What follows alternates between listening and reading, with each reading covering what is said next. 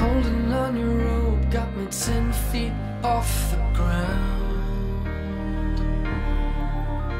And I'm hearing what you say, but I just can't make you sound. You tell me that you need me, then you go and cut me down. But wait, you tell me that you're sorry.